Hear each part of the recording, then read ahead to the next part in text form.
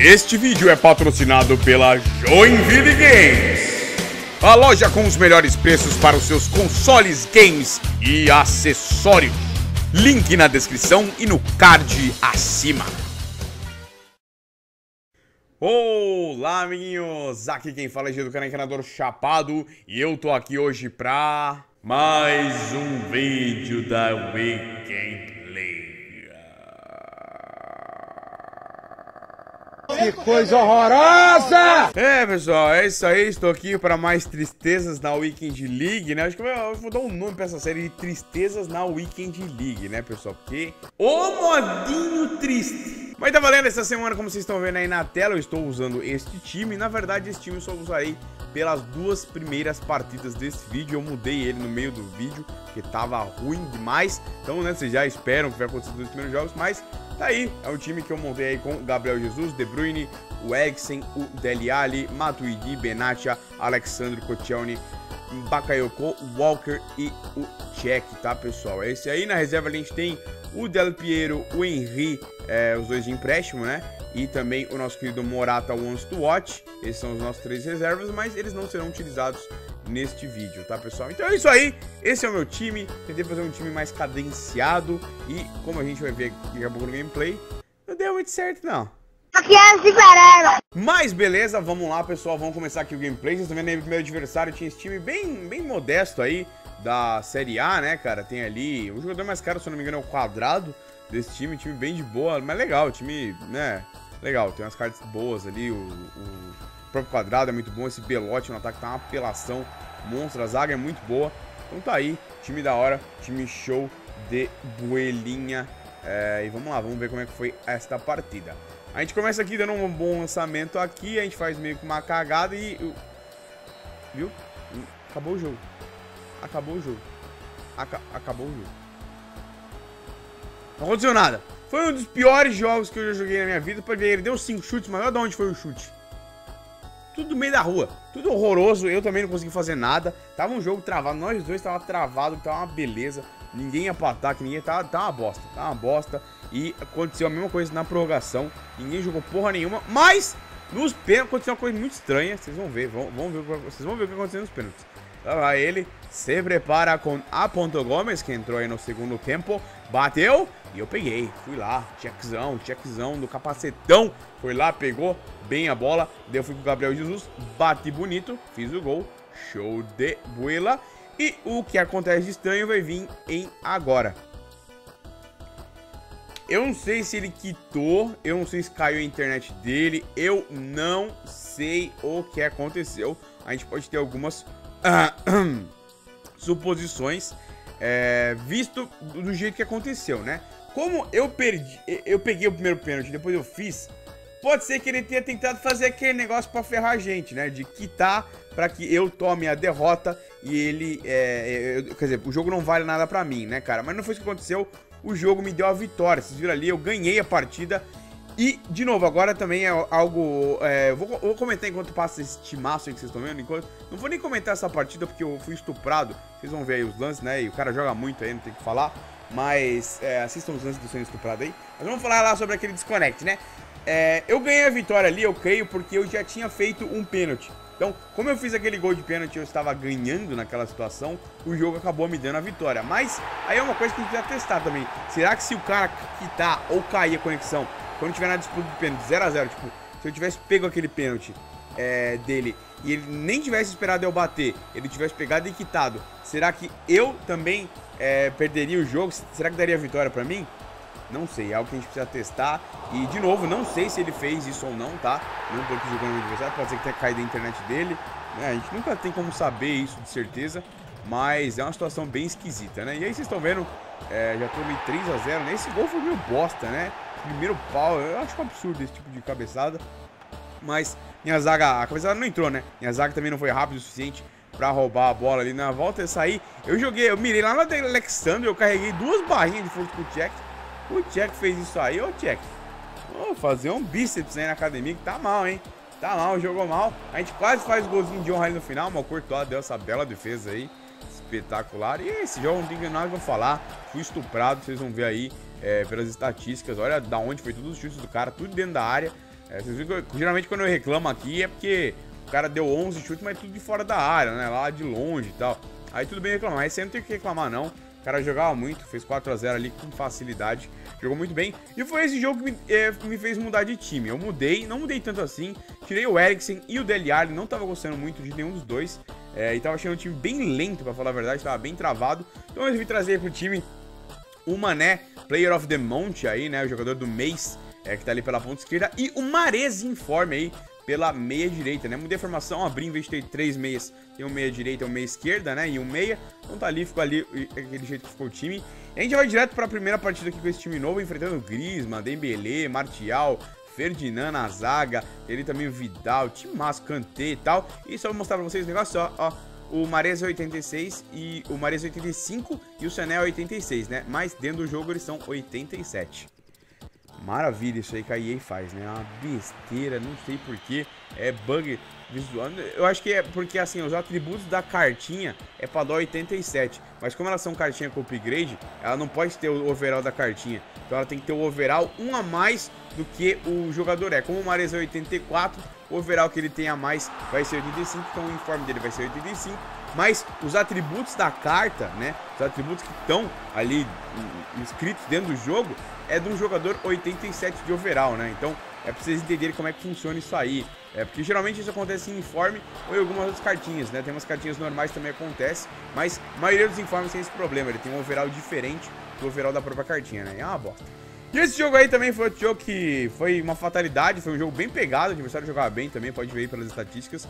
Foi uma fatalidade ali, num contra-ataque, uma bola que eu perdi ali meio na sobra. Ele tinha o Neymar, o Neymar passou voando ali pelas costas do meu zagueiro e acabou fazendo um gol. Não tem muito o que fazer, é, não tem muito o que chorar aqui também. Depois a gente vai com esse jogador aí que botou meia esquerda e meia direita ali no meio central. É, Pace Abuser, né? Esse aí é o Pace Abuser de primeira. Que tu, meu Deus, do meio pra frente é só Pace. É, mas tá valendo, não tem, tem problema. A gente fala isso só pra tirar sarro. A galera fica brava, né? Que nem da outra vez que eu falei que quem muda é, pausa pra mudar a formação no começo é babaca. A galera fica brava. É, é tudo piada aqui, galera. Vocês, vocês são meio maluco, né? Mas tudo bem. Tá aí. Eu faço esse belo gol com o De Bruyne aí no começo. E, cara, nessa partida como tava gostoso jogar com esse time, cara. A movimentação, não é só a movimentação dos caras abrir espaço tal, isso aí tava bom também, mas o De Bruyne e o Gabriel Jesus, cara, eles estavam se mexendo bem demais é, no quesito de controle de bola, tá ligado? Olha, essa virada do De Bruyne, cara, é difícil de acontecer nesse FIFA, cara. Os caras travam. Você girar assim com o cara, é muito difícil de acontecer. E tava acontecendo bastante nesse jogo. Os jogadores estavam bem soltos, parecia. É, e, cara, esse gol, mano, o que eu apertei ali pro De Bruyne chutar essa bola logo, pra ele se jogar, mano, é um absurdo, cara. É uma coisa... Antes de ter começado a jogar aqui esses jogos da Weekend League, eu tava jogando o PES, né? Joguei uma partida do PES. E o PES, quando você aperta o botão mais de uma vez, quando você começa a apertar repetidamente, o jogo entende que, tipo, você quer muito ir na bola. Então, então, tipo, seja um passe, seja um cruzamento, qualquer coisa, o jogador se joga na bola. Ele tenta, sei lá, ele tenta o mais rápido possível atingir a bola. Então, é isso que eu tentei fazer no FIFA. No FIFA, tecnicamente, é pra ser isso também, né? É pra acontecer isso. Eu lembro que isso acontecia, pelo menos nos FIFAs antigos. É, não sei se desses novos aqui não tem acontecido muitas situações pra isso acontecer, né? Mas no PES, mano, é muito legal, funciona muito bem isso lá no PES. Você aperta e o cara realmente, tipo, é uma bola que você vê, ai, acho que o zagueiro vai chegar antes que eu. Você aperta bastante, tipo, o cara se joga. Dá, dá tipo um carrinho pra acertar a bola, né? Isso é muito legal. E eu tentei fazer isso ali com o De Bruyne. Você viu que ele não fez, né? Apertei pra ele pular e tal. É, mesmo que ele errasse a bola, ia ser culpa minha que eu tentei pular. Ele não fez, ficou todo calmo e, e coletado ali e bateu ainda, bateu. A bola passou na cagada ali no meio de todo mundo para eu fazer o gol. Então é uma daquelas situações que você se pergunta: será que eu sou bom a fazer esse gol? Ou porque não foi isso que eu quis fazer? O que eu quis fazer é chuta de qualquer jeito ali. O jeito que o jogador se comportou foi o quê? Ele parou, pensou, foi lá e bateu com calma tirando a bola. Então não foi o que eu fiz, sabe? É o que a CPU fez. Então eu, eu, é, eu não gosto dessas coisas, cara. Eu, eu gosto de eu, eu faço a cagada, eu faço o gol, eu, eu gosto de eu, de eu fazer as coisas. Então, é o que eu não gosto. Está aí, vocês estão vendo de novo? Golaço do Gabriel Jesus. Batidaça lá no, no ângulo, sem chance pro goleiro. Mas olha o que acontece logo depois do gol. Vamos lá para a velha história do FIFA. E sai a bola, ele sai tocando aqui de boa. Toca uma, toca duas. E daí vocês vão ver. Olha, presta atenção na minha zaga. Presta atenção na minha zaga. Olha a zaga correndo pra trás. Olha a zaga correndo igual idiota. Presta atenção na minha zaga. Presta atenção. Esse aí vai ter. Esse jogo aqui tem um monte de pausa, vocês vão ver. Olha ali, olha lá, e, e gol. Beleza. Tranquilo aí. Chute do Neymar, a bola foi ali. O meu único problema com isso é o problema que todo mundo tem com a movimentação do FIFA 18 na saída de bola. Olha, olha essa imagem. Olha o espaço que tá entre a minha zaga e o lugar onde tá a bola. Qualquer time profissional de futebol sabe que você aperta, você pressiona o time, né? Por quê? Porque você não dá espaço pros caras, os atacantes, dominar a bola. Então, tipo, não tem motivo pra zaga estar tá tão atrás. Sendo ainda que o jogo acabou de começar. É, e outra coisa, eu uso lá naqueles negócios de tática personalizada uma pressão alta. Eu acho que eu uso 75, 69. É uma pressão bem alta que eu uso. Então quer dizer que é pro meu time, pra minha zaga ir pra cima. Ela dá pressão para, tipo, deixar os caras impedidos, tá ligado? E eles não fazem isso, cara. E é, é, é sempre no, na saída de bola. Parece que é, as informações que, é, principalmente as informações táticas, que é pro seu time ter, eles não têm, cara. Eles não conseguem entender. Demora para aquelas informações entrar na cabeça do jogador. É, e você acaba sendo sempre ferrado, né? Aí vocês viram duas jogadas, duas que eu deixei na cara do gol. E duas, é, uma o De Bruyne chutou pra fora, outro o Ederson fez uma defesa absurda ali, junto do Gabriel Jesus. E aí no finalzinho também acontece outro, outro, vocês estão vendo aí, né? Parece que foi um gol normal, né? Beleza, belo chute do Neymar ali, não tem problema nenhum nesse quesito. Mas, de novo, a gente vai para o lance devagar, né? Vamos ver aqui primeiro o replay da Super. Peça no Benatti, olha lá. O que ele tá fazendo lá? Eu não tava controlando o Benatti, pode voltar aí no vídeo ver. Eu não tava controlando o Benatti, foi o CPU. Olha o que ele faz. Primeiro ele vem, dá condição pro atacante. Por que, que ele tá dando condição pro atacante? O que, que ele tá fazendo isso? Não tem nada que ele tá aí. E depois, ó, o Walker tá seguindo ali, o cara que ele tá seguindo. E ele vai seguir junto. Pra quê? Pra deixar o espaço aberto aqui pro Neymar. é incrível, cara. É incrível. Não é um erro meu, cara. É um erro da... Eu não mexi.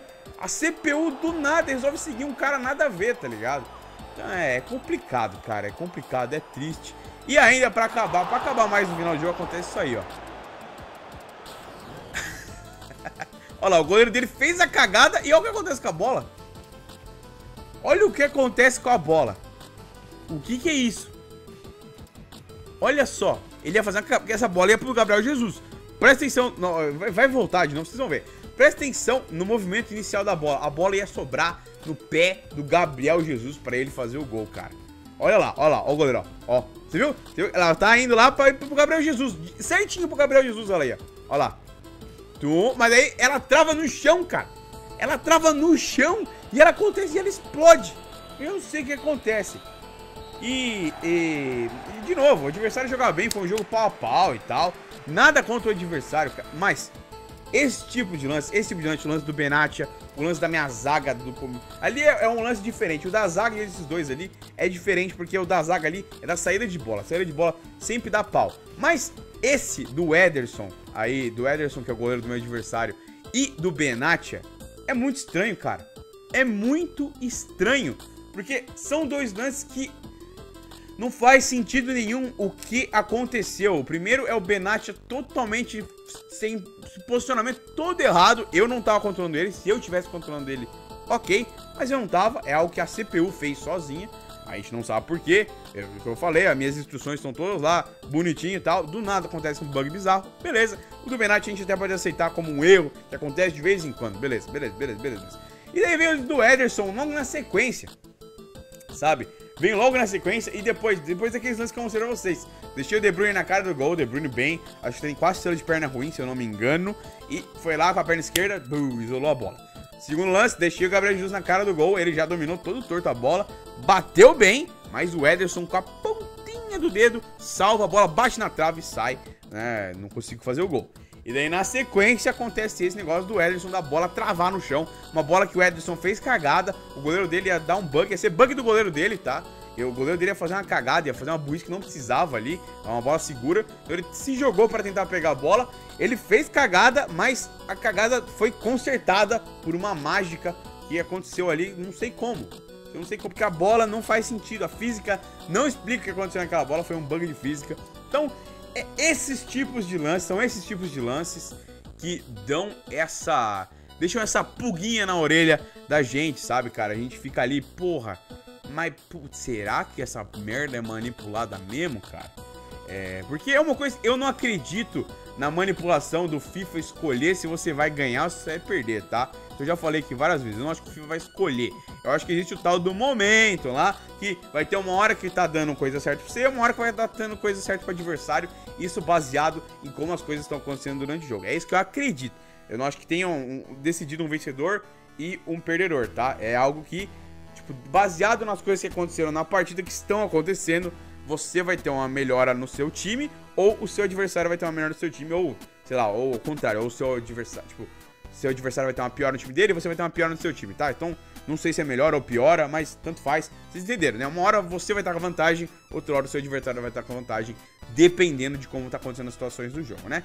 E são esses pequenos lances que frustram a gente, que a gente olha e a gente fica com um pouco treduleiro, porque são coisas que você percebe que não, não faz muito sentido, sabe? É, é muito estranho, não é erro seu e é uns bugs assim que você.